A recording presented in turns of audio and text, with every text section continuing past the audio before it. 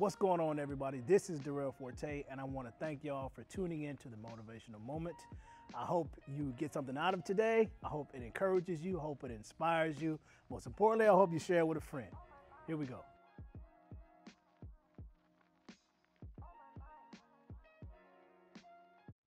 So, I'm going to share with you something that my mother shared with me my sophomore year in college after I'd received my associate's degree.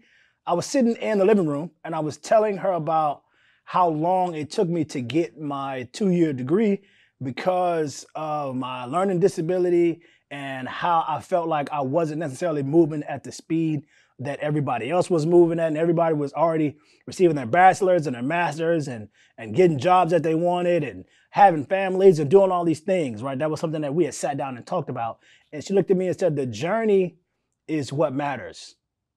And that I didn't understand it at the time because I was so focused on this whole timeline. I use that term very loosely of where I wanted to be at a certain time and how quickly I wanted to get there and how I felt like if I was if I had this at this age I'd be okay if I had my degree at this time I'd be able to get this job and all these different things which I didn't plan to account the job market of the area I wanted to go into if there were no jobs for me to work I would have a degree and nowhere to go so when she told me that the journey is all that matters, now I could sit back and reflect on that and be like, okay, what am I learning in the midst of gaining all of my degrees?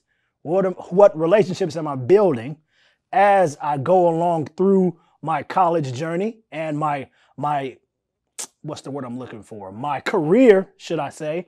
What relationships am I building there? What friendships am I making there? What connections and networking am I building while I am on the road to reach the end, end goal that I've set for myself. So the journey is more important.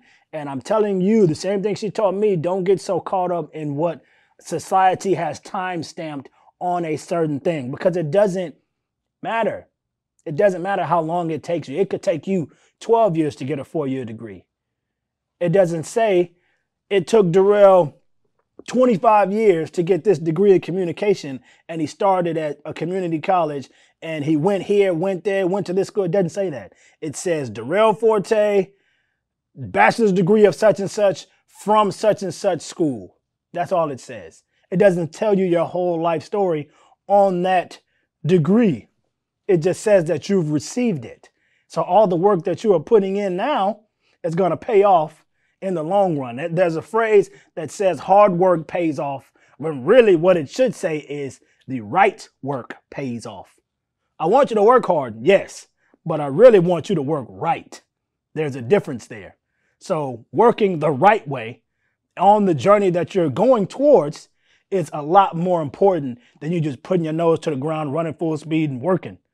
Because then you could just be running full speed and hit a wall when really, if you would have looked up and realized where you were going and what you were doing was leading you in a direction that was not successful, that you needed to make a small detour, you could have avoided this pitfall.